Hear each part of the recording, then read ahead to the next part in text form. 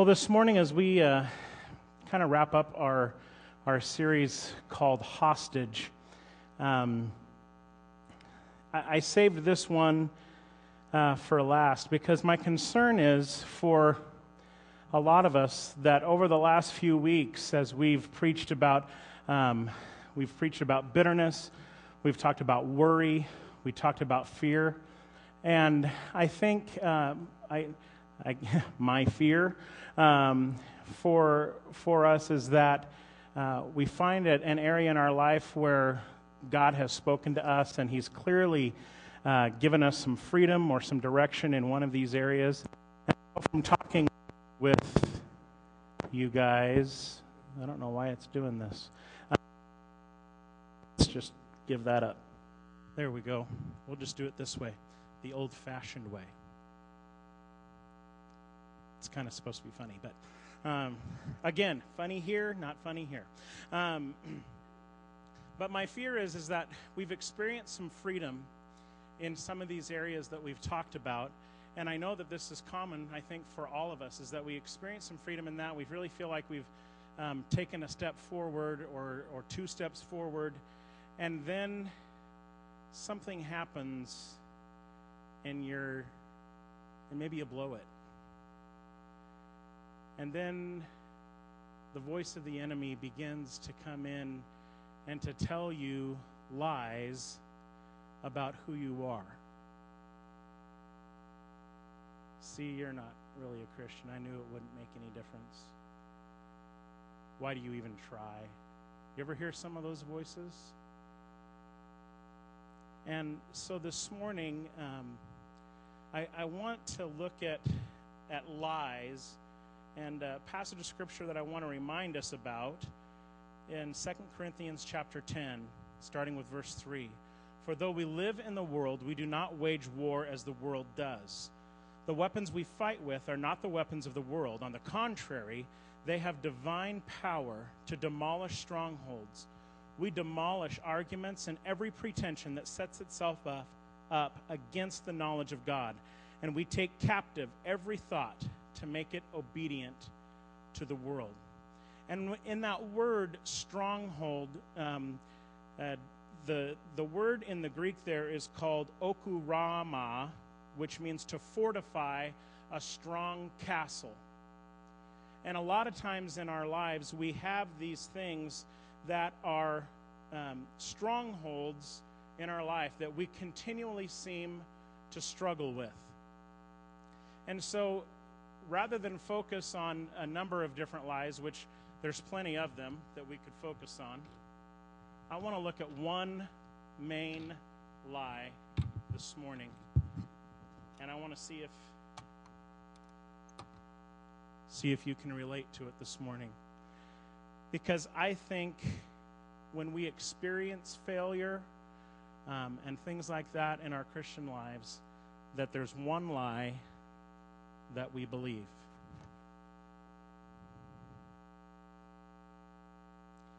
And that lie is that God can't change me. Has anybody ever felt like that? And I think a lot of times in our lives, we can't seem to stop worrying. We can't seem to stop um, being afraid of things or worrying about the bills or worrying about the things that come out of your mouth, worried that I, I can't stop looking at porn. I can't, every time I look at that person, I'm just filled with anger or bitterness. And you found yourselves at this place, and have you ever heard this come out of your mouth? Well, I just can't help it. It's just the way I am. And, folks, that is a statement of defeat when we say, I just can't help it, it's just the way I am, at the root of that is a lie that you've believed. Is that God can't change me. And we may not, we may not say it that way. We wouldn't go, oh, no, no, I believe God can change me. But when we say, uh, I just can't help it, that's just the way I am, this is, that lie is at the root of that statement. Because the fact is, God can change you. Uh, I have told um, some of my story um, from this platform many different times. And a lot of you would know, but I'm just going to kind of highlight it here for just a second. From the time that I was 12 years old, well into my adulthood and ministry years, that I struggled with the sin of pornography. And it followed me all of those years. From the very first time, I'll never forget um, going to the bathroom at a friend's house, and on the back of the toilet was a stack of pornographic magazines. And from that moment on, there was something that followed me all, all the way through. I got into high school, the struggle followed me. I got to college, the struggle still followed me. I got married, the struggle still followed me. I became a pastor, the struggle still followed me. And I can't tell you how many times over and over again, and I, I say this because I know it's been my experience, and I'm sure that it's been many of yours. God, if you will only forgive me this time, I'll never do it again. If you'll just forgive me this time, I'll never do it again. Anybody ever said that? Anybody ever experienced that? Folks, I know that I'm speaking the truth. And it doesn't matter if it's necessarily uh, pornography, doesn't matter if it's anger, it doesn't matter if it's fear, it doesn't matter if it's worry, it doesn't matter if it's bitterness. We've said that many, many times. And I want to expose the center of the lie here because I believe that if the enemy can get us to believe this lie, we're done. He has done all that he needs to do to defeat us. But scripture says in Ephesians chapter 2 verse 10, "For we are God's handiwork, created in Christ Jesus to do good works, which God prepared in advance for us to do." That word handiwork translated is actually the word for masterpiece. That we are God's masterpiece. And that word that is used there, again, sorry for the Greek twice today, but um, poiema. Poiema literally means des- des- created for a design purpose, workmanship, or masterpiece. You are God's poiema handiwork. God created you in a, created you in mind that he had specific things for you to accomplish, specific things that he has in store for you and for your life. And a lot of times we think, well, that I, I just can't do that. Well, I just can't overcome that sin. Well, folks, who on earth do you believe in? And I know that these are the things that go on in our minds that we definitely wouldn't ever say verbally, but I know that we experience them. 2 Corinthians chapter 5 verse 17 says, "Therefore, and we talked about this during baptisms, if anyone is in Christ, he is a new creation or the new creation has come. The old has gone, the new one is here." Don't believe the lie because when you become a new creation in Christ, the old is gone. It's over. You are a new creation. You have new found value, new found faith. And as I've been going through this message this week, or actually the last couple of weeks, um, there's an old song that keeps coming back to my mind.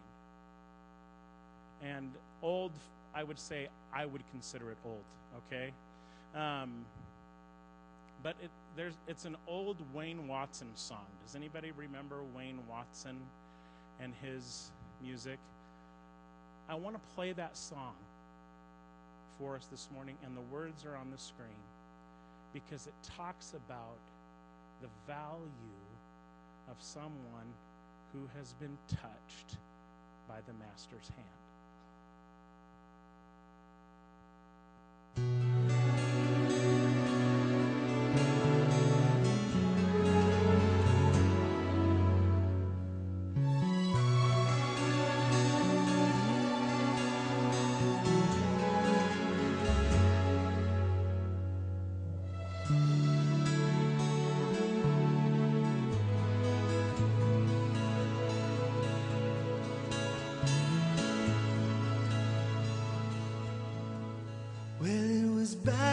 Scarred, and the auctioneer felt it was hardly worth his while to waste much time on the old violin.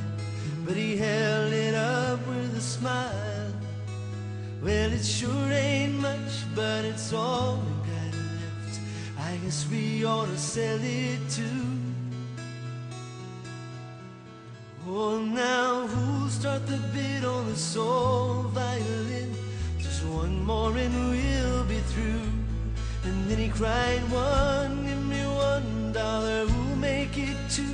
Only two dollars. Who'll make it three? Three dollars twice, now that's a good price. Now who's gonna bid for me? Raise up your hand now, don't wait any longer. The auction's about to end. Who's got four? Just one dollar more to bid on this old violin.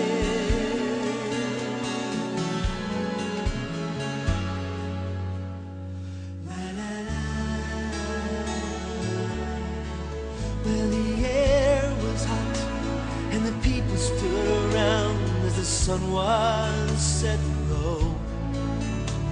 From the back of the crowd, a gray-haired man came forward and picked up the bow.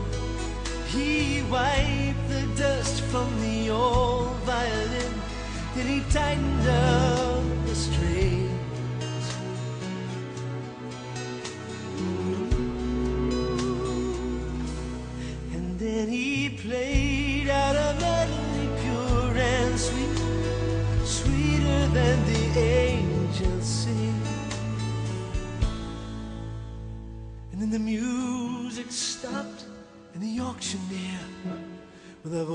That was quiet and low, he said, Now what am I bid for this old violin?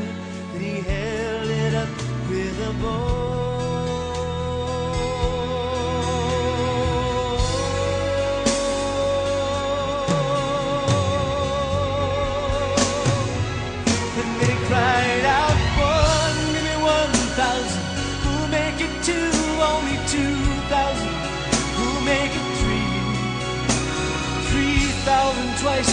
Know that's a good price. Come on, who's gonna bid for me? And the people cried out, what made the change? We don't understand. Then the auctioneer stopped and he said with a smile, it was the touch of the master's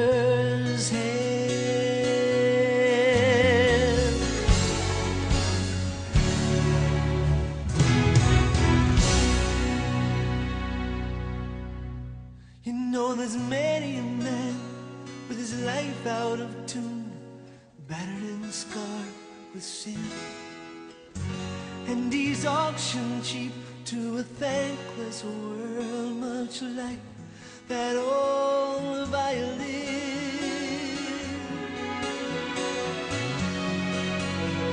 Oh, but then the master comes, that old foolish crowd. They never understand. No, the worth of a soul, a change that is wrought just by one touch of the master's hand. Look, and he cried out, one, me one thousand, who'll make it two? Only two thousand, who'll make it three? Three thousand twice, you know that's a good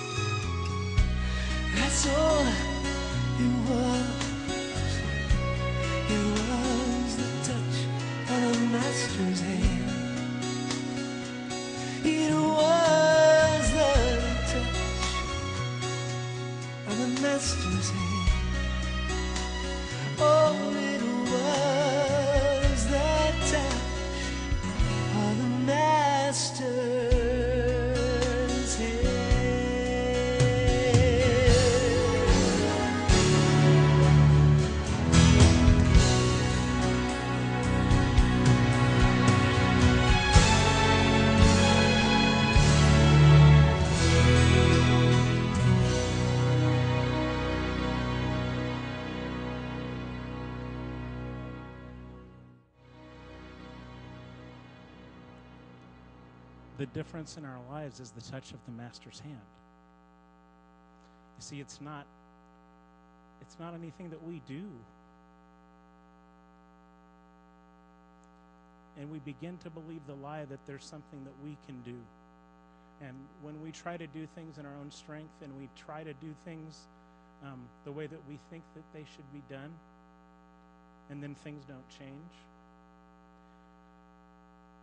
we begin to believe this that God can't change us. But it says in that passage that we looked at earlier that God has given us weapons weapons to stand on, weapons to fight in this battle. So, what are those weapons?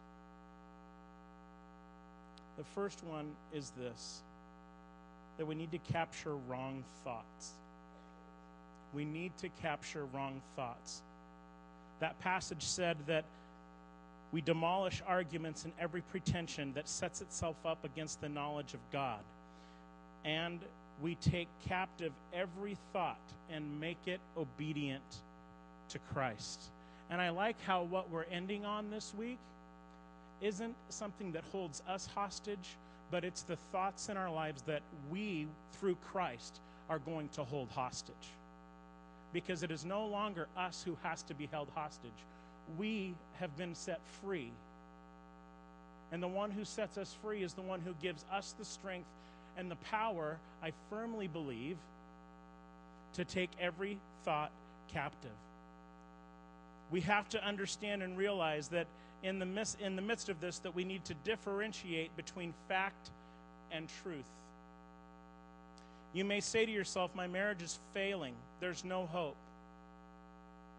Another fact, I've been, I haven't been the husband that God created me to be. I'm not leading spiritually. I'm not sacrificially serving. Those are the facts. However, the truth is that God can make me into the husband that He created me to be. The truth is that God can forgive me. As a matter of fact, He's already forgiven me.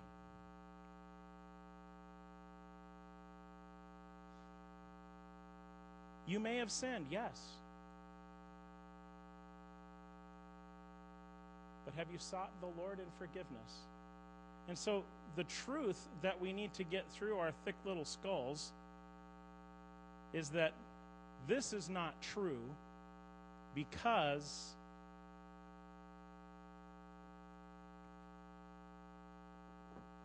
this is the truth. The fact is that He's already changed you. And yet we continually struggle and fight because somehow we think it's something that we've done. But the fact is, when you become a new creation, when you have, when Christ has done that work in you, He's already changed you. He's already, you are already a victor. Everything that we need in Christ is already ours when we make that confession of faith. We firmly believe that. And it is then as we continue in the process of growth to become more and more and more like Christ when we understand that He's already made the changes in us. He's still working on our behavior, but the heart has been changed when we make that confession of sanctification, when we ask for Christ to come in and to cleanse our sin nature and to set us apart for His purposes and His use, He's already done the change, folks. Does that mean that there's not times that we don't struggle? Absolutely not. I wouldn't say that. That'd be a lie. But the fact is, He's already made the changes. So, the first thing that we need to do is we need to take captive wrong thoughts. Now, a lot of times we don't take them captive because we, they come in and we let them kind of run around for a little bit. And when they run around for a little bit, they make a mess, don't they? We have to get in the habit of taking it captive. The second thing that we need to do is we need to speak truth We need to speak truth. Now, notice that I didn't say that we need to think about truth. I didn't say that we need to memorize truth. I said we need to speak truth. Now, we need to think about truth, absolutely, and memorizing truth is absolutely helpful, but I believe that we need to speak the truth. Proverbs 18:21 says, "The tongue has the power of life and death, and those who love it will eat its fruit." The tongue has the power of life and death. That's extreme language. The things that come out of my mouth have the power of life and death. And I think too often we speak our own defeat. When we say, well, I'll always blank, I'll always be this way. I can't overcome that. When we speak what the words come out of our mouth, become, I believe, who we are in Christ. And giving power to a lie that leads to a lifestyle of bondage is not the truth. It, we speak it into existence. And so here I am going through one of the darkest seasons of my life, as I talked about earlier. I was a youth pastor. I'd been a follower of Christ for many years. I was a, fa- I was a father, a husband, and I was a prisoner.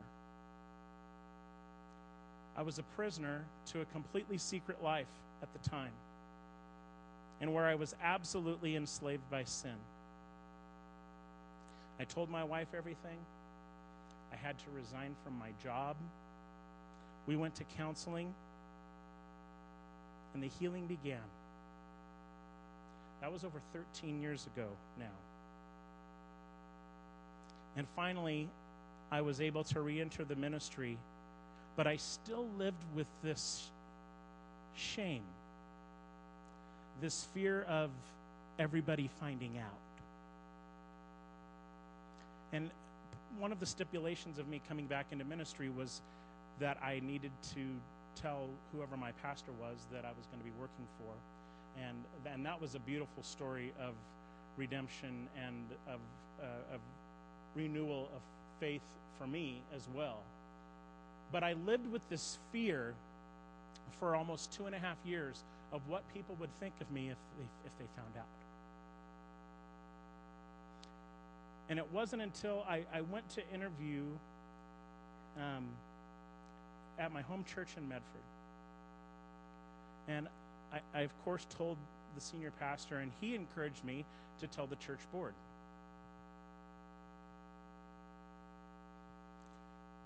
So I told the church board.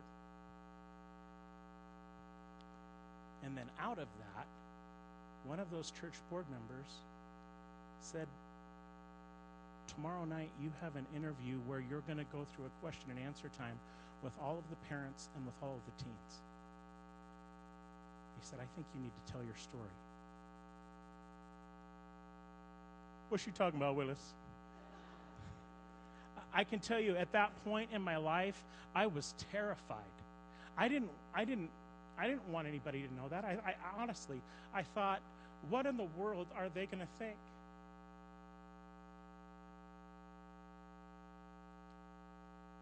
I mean, who wants a pervert for a youth pastor?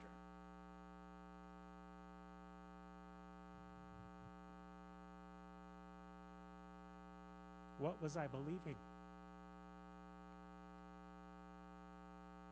Because that's not who I was. And so that night came, and I'll tell you, I literally I was sick to my stomach. I was nauseous. Um, probably the most nervous I've ever been in my life. And I thought, okay, Lord, I'm going to be obedient to you because I do feel like this is it, but there's not a chance I'm getting this job. You know, I can understand a pastor understanding grace, but not a whole group of people. And so I stood and I told my story. I, I was trembling. I was so nervous. And at the end of the, that evening, something incredible happened. I had person after person after person come and tell me thank you for sharing my story. And I had a couple of people say, I want somebody to pastor my kid who understands God's grace, who's been there. And I honestly didn't think in a million years that that would be the case, but I spoke the truth. And I found that where truth is, darkness cannot be. When you shine the light of truth into any area of your life, darkness can't live there. And so, folks, that's why I can talk about it. I mean, you've heard me talk about it before. I'm not ashamed to talk about it now. The reason I'm not ashamed is because this isn't true. This is true. So don't believe the lie. We need to speak the truth. And I, literally, telling my story publicly, I had been forgiven, I had been restored to ministry, but the healing, I firmly believe, really started after I told my story publicly and after I spoke truth. I believe that's when the real healing began to take place. So we're going to take every thought captive. We're going to speak the truth. And the third thing is is that we will not quit. I think in our American culture, 90% of us who struggle with the same thing over and over again know exactly what we must do to be free.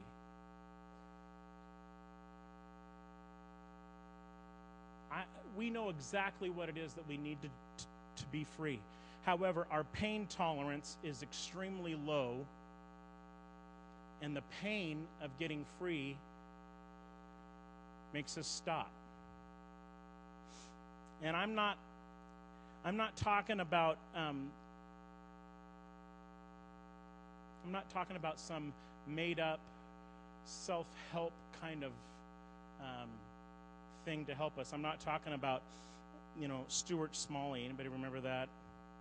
I'm good enough. I'm smart enough, and doggone it, people like me. Um, it, uh, it's not that kind of a thing. It's a true assurance that, that Christ has done the work in me. And it does take work. I can tell you that. Folks, the way to be free, it's not that you can just sit back and coast and everything's going to be fine. We have to do our part in this. And so Paul writes in Colossians chapter 1 verse 29, to this end I strenuously contend with all the energy Christ, all the energy Christ so powerfully works in me. Let me read that again. To this end I strenuously contend with all the energy Christ so powerfully works within me. He's the one who gives us the power to make our stand against sin. It is Him who comes and makes that change. And we strenuously contend. That takes work. That, that does. But the strength to continue in that comes from Christ. Because, why? Because He's already changed you. That's the truth. And so today,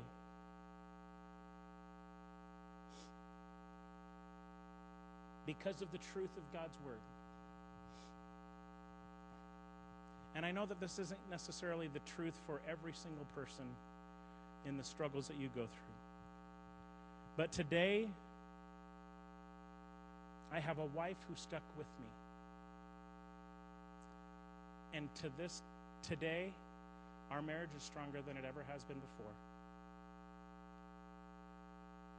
And I'll tell you, at the time, I didn't think that would be the case. And at this time, I can tell this story in public, and my kids are right here in the room. I'm not, I'm not ashamed. And I've got three kids, that love their dad. Matter of fact, some of them, they actually listen to my advice. Actually, they do. And I don't want to sound too churchy, but the truth of who God is and who He says you are, if you let that penetrate your mind and come out of your mouth over and over and over again, day after day, it will set you free and you'll be changed. And I'm just I'm just holding up my life as example because honestly it's the only one I know. And I'm not holding it up as going, well, you know, whoopee, good for you.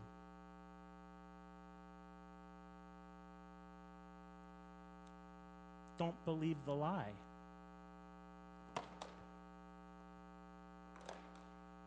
It's a lie.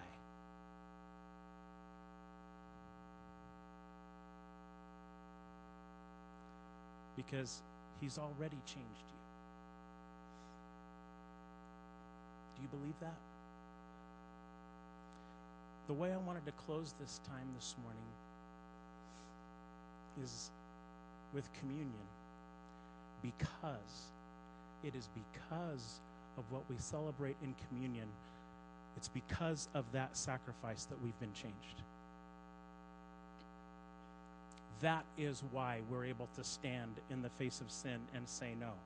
That is why we can say, in the midst of temptation, in the midst of times when we have blown it, not to listen to the voice of the enemy that tells you that you're no good, that tells you that you're a loser, that tells you that you, see, I knew you'd blow it. You're not a good Christian. You're not even a real Christian. Come on, we've all heard those lies. If we could get this one truth into our lives and really believe it, don't you think that would change our lives? Don't you change think actually that might have the potential to change the world?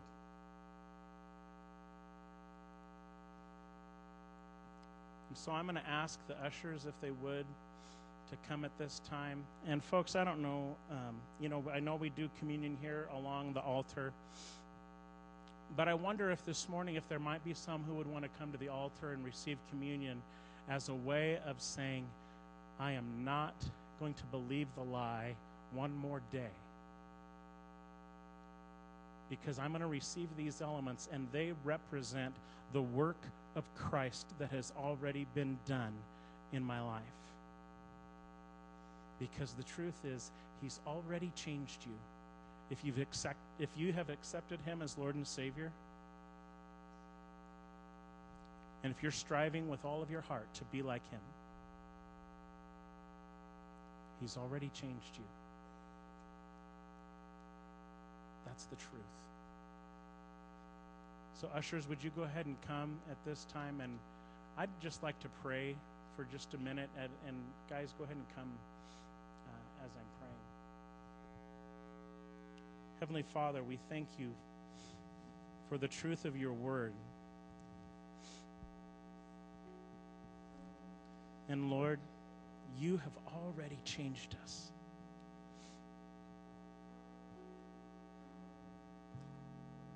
I pray, Father, that we would believe the fact that when you say that you come and you dwell inside of a person, when you come and dwell inside their soul, that the old has gone, the new has come. Father, I pray that you'd help us to believe that the new has come and it didn't leave.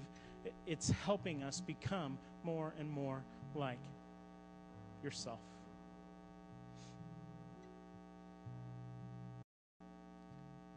Lord, I pray now as we receive the elements that you would quiet our hearts, that we might receive from you.